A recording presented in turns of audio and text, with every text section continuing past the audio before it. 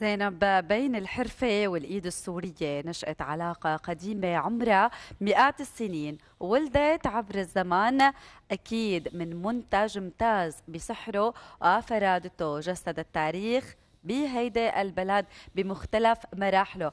وعبر عن روح الحضارة السورية المستمرة المستمرة بفضل إرادة وصمود السوريين. أكيد سالي اللي نحكي أكثر وبشكل موسع عن طبعا شيوخ الكار وأهم ما تم إنجازه على الصعيدين المحلي والعالمي لعام 2018 طبعا هي شو الخطط الجديدة لهالعام الجديد؟ أكيد بدنا نرحب بالسيد عدنان تنبكجي شيخ كار بالحرف الشرقية والمسؤول الإعلامي لمجلس شيوخ الكار وعلي خليفة حرفي بمجال صناعة الأدوات والآلات الموسيقية التراثية. يسعد صباحكم وأهلا وسهلا فيكم. يسعد صباح, صباح الخير. أهلا وسهلا. يسعد صباحكم. كل عام وأنتم بخير. كل عام يتابعونا سيد علي شيخ كار بس ملحوظة صغيرة يعني إيه تمام ولا يهمك. بس آه، أكيد شيوخ الكار في لهم آه، آه، يعني مثل أقدمية الجداد القدماء ولا ما في هيك نعم. شيء؟ والله العمل مستمر وهلا نحن عم نستقطب كثير من الناس وفي تراكد على هذا الموضوع حتى ببقيه المحافظات. تمام ونحن عم نكبر ببعض الحمد لله يعني. معناتها لمحة صغيرة عن أنشطة شيوخ شيوخ الكار. هلا إحنا فينا نحكي عن سنة 2018 الحمد لله كانت هي سنة الانتصارات وسنة الإنجازات. حتى نحن كحرفيين وجنود للتراث أنجزنا كثير من الإنجازات حتى على الصعيد الدولي وعلى الصعيد المحلي. كان في عنا امتيازات عديدة. آخرهم كان توجنا بأبخازيا بمعرض رائع جدا جدا. يعني حتى أنا حصلت على شهادة الدكتوراه الفخرية بما يخص الفنون اليدوية أكيد كان لنا لقاءات سابقه عملنا لقاء وأنتم على طول سباقين بالاخباريه السورية ما بتقصروا على طول أنتم ما شاء الله مواكبيننا يعني. واجبنا. وبالنسبة للجزائر كمان في معرض الصالون الأخضر كمان حققنا إنجاز اخذت أنا إنجاز كثير مهم م. تقريبا على 24 دولة وأكثر من ما يقارب 600 700 شركة. طلعنا المركز الأول وأنا توجت بهذا وبمعرض أعمار كمان وغير معرض دمشق الدولي ومعرض أعمار كان رائع جدا وفي كمان يعتبر معرض دولي حققت إنجاز كثير حلو. أنا بهدي هذا الإنجاز لزملائي ولكل واحد عم يسمعنا ولكل حرفي سوري وبالنسبة للإنجازات المحلية بكل المراكز الثقافية عملنا كمان معارض وحتى عملنا معرض لشيوخ الكار الثاني. وعملنا معرض للبيئة وكان إقبال عليه رائع من كل المعنيين والمسؤولين. بوزارة السياحة كانت نشاطات كبيرة. إذا في كان عندنا مجموعة كبيرة ويعني إذا بدنا نعدهم بدنا حلقات ما بتكفينا حلقة. أكيد. وإن شاء الله المستقبل واعد ومستمرين بالإنجازات لأنه نحن فعلا جنود التراث وبيلبقنا هذا الاسم. أكيد. وما من شأن عن الجنود اللي عم تحية لهم عم خلونا نحن بأمن واطمئنان ووصلونا لهي نعم. المرحلة. أكيد يعني عملتوا بصمة ب 2018 وإنجازات كثير مهمة. مثلتوا سوريا محليا وعالميا وكانت يعني فعلا شيوخ الكار لهم كثير آه، يعني آه، إنجازات مهمة على كل الأصعدة. حننتقل لك كمان علي يعني شيخ كار بالآلات الموسيقية التراثية. وجايب لنا اليوم بزق يمكن وعود. بزق وعود تماما. خلينا نحكي عنهم ونحكي عن هذا المجال كيف صرت شيخ كار فيه يعني هلا شيخ الكار هو اللي معلم بهي الحرفة تماما. تماما؟ فخلينا نحكي آه على الآلات الموسيقية قد إيه اليوم هي جزء من التراث والحضارة السورية كمان. نعم. بداية نحن يعني ك ك ك كمهنة آه كنا بنشتغل فيها من زمان. يعني فينا نقول جدي قبل 50 سنة هو كان بيشتغل بالموضوع وهالموضوع ضل آه متوارث فينا نقول يعني مع أبي بعدين كان لإلي. هي الخبرة اللي كانت عندنا من قبل 50 سنة لهلأ حاولنا ان نجسدها نحن على أرض الواقع ونحاول نطورها ونقدمها مثل ما بتكون موجودة آه، بالآلات اللي عم نشتغلها وبالشيء اللي عم نساويه. نعم. عمليا نحن قدمنا بهي الفترة بخلال 2018 والسنوات السابقة إنجازات كثير كبيرة، كان في لنا حصة كبيرة بال بالمعارض الدولية وكان في لنا حصة كثير كبيرة بالمبيعات بشكل عام بالوطن العربي. قدمنا كل آه، كل الخبرات الموجودة قبل خمس قبل 50 سنة لهلأ. حتى حتى يعني صرنا بمستوى شيخ كار فينا نسميها. هي من الخبرة اللي كانت قديمة سابقا عنا إياها. حلو. غالبا بنشتغل إحنا الآلات الشرقية هي البزق والعود والقانون هدول مشهوره سوريا فيه تمام بالضبط. هلأ البزق مش والعود. بالضبط هيك. يعني سوريا هي من الدول المشهورة جدا بهالموضوع. وضمن وضمن هي الفترة اللي إحنا كنا ماضيين فيها كنا قدمنا شيء كثير منيح للوطن العربي وبشكل عام عالميا كمان. مم. وكنا متميزين جدا بهذا الأداء الحمد لله. إيه حلو. تمام. يعني يعطيكم ألف عافية الله وخاصة يعافيك.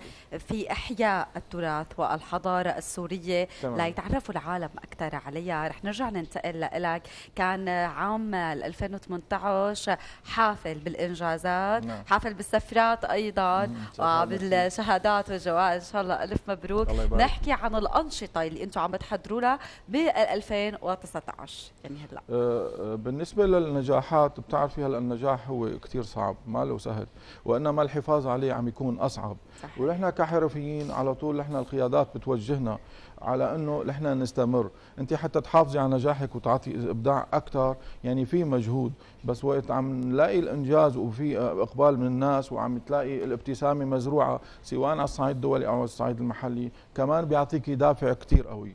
وموضوع شيوخ الكار أو موضوع الحرفي الناجح هو بيكون مو بس متوارث المهنة أو متعلمها مو بالضرورة يكون متمارس. كمان من جوا عنده شيء دافع من قلبه حبه نعم. لهذا أو عشقه. يعني هي بدها تكون مثل الروح.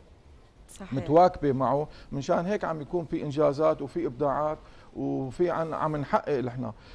بالنسبة لهي السنة نحن موعودين إن شاء الله كمان بالدعم الأكبر بوجه التحيه لقيادة حزب البعث العربي الاشتراكي مم. على إنه عم يدعمونا بحاضنة أه، دمر خلينا نقول حاضنة دمشق الحرفية وإن شاء الله بالقريب العاجل حيتم. نحن قبل هلأ عملنا أكثر من حلقة على هذا الموضوع.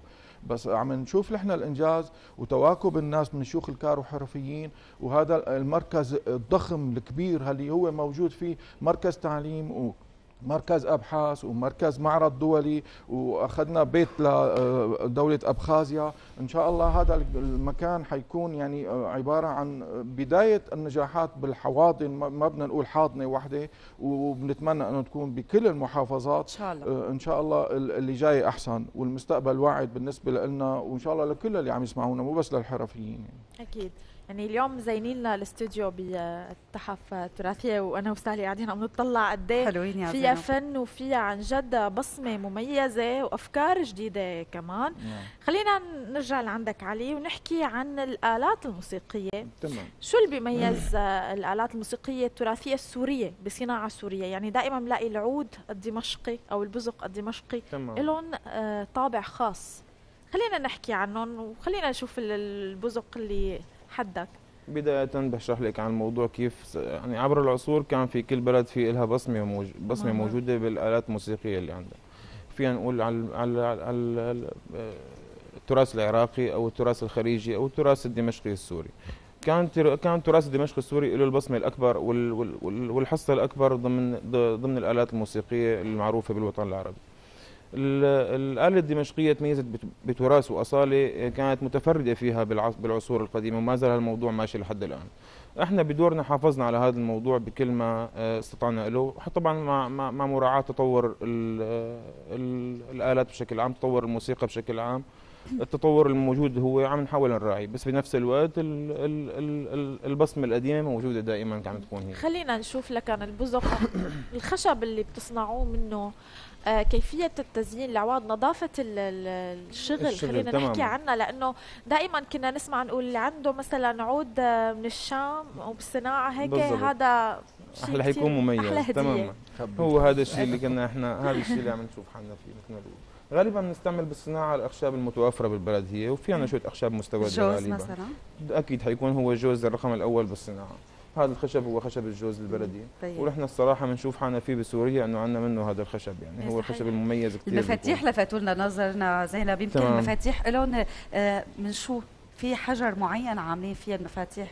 الصراحة ولا عادي ولا لهم الوان مثل بس موضوع ألوان وموضوع زينة هن هن مفاتيح بسيطة هدول البزق بيكون مفاتيح مو. حجار لا بالأعواد ممكن نستخدم نحن مفاتيح. ثانية ممكن نضيف عليها أحجار ونضيف عليها أخشاب ثانية بيكون فيها شيء. شيء شيء شيء مهم غالبا يعني بيكون من الأخشاب الموجودة عندنا يعني مثل ما شرحت لك خشب الجوز عم يكون موجود بالصناعة غالبا خشب الزان هذا اللي عم نشتغل فيه لأنه. والوجه غالبا بيكون خشب السيبروس مثل ما بنسميه أو الشوح القوقازي يعني. بياخذ وقت مثلا إذا حرفي بده يعمل بزق أو عود بياخذ وقت كثير أكيد أكيد. يعني هو مراحل الشغل عم تكون كثير كبيرة وكثير صعبة. آه، مع مراعاة الوقت لحتى حتى يتم آه، تعامل الخشب مع المواد اللاصقة مع مع العلاج اللي بيكون عليها يعني. غالبا بده وقت بين ال 15 يوم لل 25 يوم لحتى يكون في عندنا إنتاج قطعة واحدة من هذا الشيء. حلو. أكيد بياخذ جهد كبير وبياخذ نعم. حرفية عالية. يعطيك العافية يعني. هنا نعزف. شغل كثير حلو زينب. يمكن مثل ما قلتي اللي عنده شيء من الشام وهيك شغلة من الشام يكون ملك القلعه طبعا طبعا. طبعا. أستاذ عدنان يعني كمان عم نشوف آه، آه، شغلات جديدة بشغلك. دائما أنت بتجدد وخاصة نعم. هيك بطريقة العرض. آه، دائما في شيء ابتكارات جديدة بتضيف عليها. آه، على شو بتعتمد أكثر شيء؟ في شيء معين بتستند عليه؟ مثلا خلينا نقول إنه في قطعة معينة آه، ممكن أنت بمخيلتك تكون غير شيء ترجع تركبها. صحيح. يعني من, من باب التجديد. أكيد مثل ما حكينا إحنا أول شيء عشق للحرفة. هذا تمام. رقم واحد. رقم اثنين لازم الواحد يتواكب مع العصر. إحنا بنحافظ على التراث القديم ولكن معنا بصمات. يعني هلا أوقات بيكون عنده واحد قطعة متوارثة من أبوه أو من جده. يعني إحنا ما بنكتفي بهذا الكلام. لازم كمان نحط بصمتنا. ربما تكون بصمة الإبن أحسن من بصمة الأب. يعني مو بالضرورة أحيانا بتصدف يعني. وكمان بس ما ينزع لا. يكون شيخ كار هذا الشيء أكيد هذا لأنه ليك ما النجاح وقت بيستمر يعني المؤشرات بتكون واضحة. أكيد. انت القطعة وقت بتكون هون متراكمة عندك وما في إقبال عليها هون بدا الفشل بس وقت بيكون في إقبال وعم انت عم تساوي قطعة. يعني طيب الزبون مل من هالقطعة بدنا نساوي غيرها. بنطلع كمان نحن بنتواكب تعديل بسيط يغير من برافو عليك هذا الموضوع اللي هو التعديل. أحيانا بنقتبس من النت أحيانا بنقتبس من الديكور من المسلسلات. يعني المسلسلات السورية كمان اللي إحنا بنعطيهم وبناخذ منهم. أنا بنعطيهم قطعة من الديكور من التراث القديم. ربما يحطوا قطعة مو من عندي فرضا. أنا مو بالضروره أخذها وساويها نفسها. لا هون فشل.